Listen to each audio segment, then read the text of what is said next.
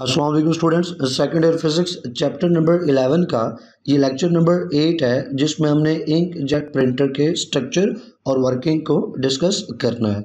Students lecture का आगाज़ लेते हैं हम इंक जेट प्रिंटर के जो स्ट्रक्चर है, जो स्ट्रक्चर में मेजर पार्ट्स हैं, उनसे। तो पहला जो पार्ट है मेजर पार्ट वो इंक जेट नोज़ल है। इसको इंक रिजर्वायर इसके पीछे एक पार्ट होता है इंक रिजर्वायर जिसमें इंक पड़ी होती है। उस इंक रिजर्वायर से इंक जो है वो इंक जेट नोज़ल को मिलेगी और इंक जेट नोज़ल उस इंक को छोटे छोटे इंतहाई स्मॉल, टाइनी ड्रॉपलेट्स में कन्वर्ट कर देगा। फिर वो जो ड्रॉपलेट्स इंक जेट नोज़ल से निकले हैं तो आगे एक electrostatic charging electrostatic charging unit है। जब ज़रूरत पड़ेगी तो इलेक्ट्रोस्टैटिक चार्जिंग यूनिट से उन आने वाले ड्रॉपलेट्स को चार्ज दे दिया जाएगा। और जब ज़रूरत नहीं होगी तो आने वाले जो ड्रॉपलेट्स हैं, उनको चार्ज नहीं दिया जाएगा। तो ज़रूरत पड़ने पर इलेक्ट्रोस्टैटिक चार्जिंग यूनिट जो है, वो इंक जेट नोज़ल से निकलने वाले ड्रॉपलेट्स को चार्ज देता है और यूजली नेगेटिव चार्ज जो है, वो दिया जाता है। पॉजिटिव चार्ज भी दिया जा सकता है डिपेंड करता है कि इंक जेट प्रिंटर बनाने वाली कंपनी उसका मॉडल उसका डिज़ाइन वो उसको कैसे डिज़ाइन करना चाहता है, लेकिन यूजली नेगेटिव चार्ज जो है वो इलेक्ट्रोस्टैटिक चार्जिंग यूनिट से दिया जाता है, वो भी ज़रूरत पड़ने पर। आगे मैं एक्सप्लेन करूँगा कब ज़रूरत पड़नी और कब नहीं पड़नी। फिर है स्टूडेंट्स डिफ्लैक्शन प्लेट्स तो जब ज़रूरत पड़ी है, हमने जो इंक ड्रॉपलेट्स हैं उनको स्टूडेंट्स हमने चार्ज दे दिया इलेक्ट्रोस्टैटिक चार्जिंग यूनिट से और जब वो इलेक्ट्रोस्टैटिक चार्जिंग यूनिट से चार्ज इंक ड्रॉपलेट्स निकलेंगे और आगे पास होंगे डिफ्लेक्शन प्लेट से तो डिफ्लेक्शन प्लेट से वो डिफ्लेक्ट कर जाएँगे। ये डिफ्लेक्शन प्लेट्स दो पैरेलल प्लेट्स हैं। एक के ऊपर पॉजिटिव चार्ज होता है, एक के ऊपर नेगेटिव चार्ज होता है। तो पीछे से जो ड्रॉपलेट्स आ रहे हैं, वो नेगेटिव ड्रॉपलेट्स हैं। तो स्टूडेंट्स वो नेगेटिव ड्रॉपलेट्स जो हैं, वो फिर डिफ्लेक्ट कर जाएँगे टूवर्ड्स पॉजिटिव प्लेट और आगे उनको पेपर के ऊपर पहुँचने से रोका जाएगा। जब ज़रूरत नहीं है पेपर के ऊपर भेजने की तो जारी बात है उनको इंक ड्रॉपलेट्स को पहले ही डिफ्लेक्ट करवा लिया जाएगा। तो जब डिफ्लेक्ट करवाना है इंक ड्रॉपलेट्स को पेपर के ऊपर पहुँचने से रोकना है, तभी ही इलेक्ट्रोस्टैटिक चार्जिंग यूनिट से ड्रॉपलेट्स को चार्ज दिया जाएगा। और डिफ्लेक्शन प्लेट्स के ऊपर तो पॉजिटिव और नेगेटिव चार्ज मौजूद होता है तो वो आने वाले चार्ज ड्रॉपलेट्स को डिफ्लेक्ट कर लेंगे। फिर आगे गटर पड़ा हुआ स्टूडेंट्स गटर जो है, जो जब डिफ्लेक्शन होगी और डिफ्लेक्टेड इंक ड्रॉपलेट्स गटर में जमा हो जाएँगे, और जो कलेक्टेड इंक होगी, गटर में जो जमा होगी तो गटर उसको दोबारा से इंक रिजर्वायर की तरफ़ जो है वो भेज देगा ताकि वो इंक ज़ाया ना हो।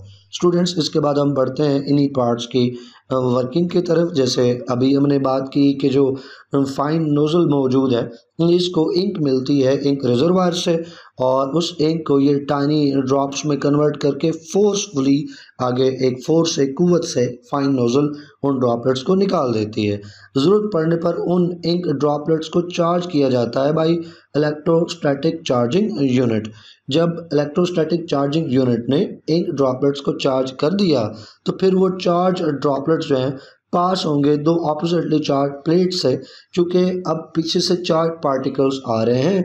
तो यकीनी तौर पे वो जो अपोजिटली चार्ज प्लेट्स हैं वो उनको चार्ज पार्टिकल्स को डिफ्लेक्ट कर देंगे, इसलिए उन प्लेट्स को डिफ्लेक्शन प्लेट्स का नाम देते हैं। तो जो नेगेटिवली चार्ज इंक ड्रॉप्स पीछे से आ रहे हैं, वो अट्रैक्ट होंगे टुवर्ड्स पॉजिटिव प्लेट और इस तरह से वो डिफ्लेक्ट हो जाएँगे। ये तमाम चीज़ें आप नीचे डायग्राम में देख सकते हैं।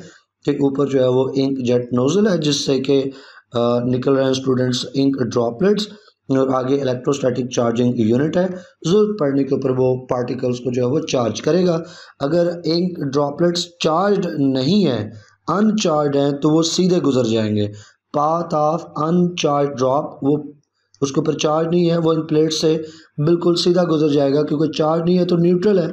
न्यूट्रल है तो ना पॉजिटिव प्लेट की तरफ़ डिफ्लेक्ट होगा और ना वो नेगेटिव प्लेट की तरफ़ डिफ्लेक्ट होगा, बल्कि सीधा गुजर जाएगा और पेपर के ऊपर जाके स्ट्राइक करेगा और पेपर के ऊपर कोई लेटर या कोई इमेज जो है वो प्रिंट हो जाएगा टाइप हो जाएगा, कोई लेटर वगैरह, कोई डिजिट जो है वो लिख लिया जाएगा पेपर के ऊपर। लेकिन जब स्पेस क्रिएट करनी हो पेपर के ऊपर कुछ एरिया ब्लैंक रखना हो, फिर हम नहीं चाहते कि इंक जो है वो पेपर के ऊपर पहुँचे। तो पेपर के ऊपर पहुँचने से पहले इंक को रोकना है। पहले रोकना है तो फिर इंक ड्रॉपलेट्स को चार्ज दिया जाएगा। इलेक्ट्रोस्टैटिक चार्जिंग यूनिट ऑन होगा इलेक्ट्रिक फ़ील्ड क्रिएट होगा। इलेक्ट्रिक फ़ील्ड आने वाले इंक ड्रॉपलेट्स को यूजली नेगेटिव चार्ज दे देता है और नेगेटिव ड्रॉपलेट्स जब इस जो डिफ्लेक्शन प्लेट सन के दरमियान से गुजरेंगे तो पॉजिटिव प्लेट्स की तरफ़ डिफ्लेक्ट हो जाएँगे। क्यों? कि पॉजिटिव चार्ज जो है, वो नेगेटिव चार्ज को अट्रैक्ट करता है और वो एक गटर के अंदर कलेक्ट हो जाएँगे। गटर उस कलेक्टेड इंक को इंक रिजर्वायर तक फिर पहुँचा देगा। तो स्टूडेंट्स जब कभी ज़रूरत हो तो ही उस सूरत में ये काम किया जाता है। यानी जब स्पेस क्रिएट करनी जब लेटर टाइप करना है, तब हम चाहते हैं कि इंक पेपर के ऊपर पहुँचे और जब कोई स्पेस क्रिएट करनी है, चाहते हैं कि तब जो है वो इंक पेपर के ऊपर ना पहुँचे। तो यही चीज़ आगे आपको नोट्स में मिलेगी। जब हम ये चाहते हैं कि इंक जो है वो पेपर के ऊपर प्लेस हो तो जो चार्जिंग कंट्रोल यूनिट है चार्जिंग कंट्रोल सेंटर है, ये कंप्यूटर जारी बात है, इसको कंप्यूटर से इंस्ट्रक्शंस मिल रही हैं।